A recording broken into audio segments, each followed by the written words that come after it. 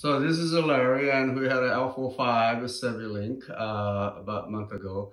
Larry, what was your back pain prior to the StabiLink L45? Oh, it ran probably between 8 to uh, 10 at times. Where was your most pain? Just in the back? In the lower back and, and the legs. Okay. And uh, uh, what were you feeling after the surgery now? After the surgery now, it's uh, totally gone, to be honest. And I'm feeling really good. I can do most anything I want to do.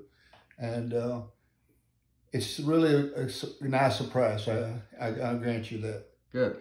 Do you think that that surgery was a very painful surgery? It's hard to recover? Not hardly. Not hard to recover at all. In fact, uh, it was a lot better than I thought. Mm -hmm. I was uh, apprehensive about having it done initially because I went on onto YouTube and looked at it being accomplished there. And then I said, well, let's try it. And then you, you, you said uh, you could do it and you did a great job. I, I appreciate that. Okay. Thank you very much. So your recovery is not that, uh, it was not that difficult. No difficulty at all. And post-surgical pain was very minimal. Very minimal. And uh, you'll now be able to move and walk without much difficulty or pains as you used to have. Yes. Okay, great. Much, Thank much you. better. Thanks for the, agreeing to interview with me, okay?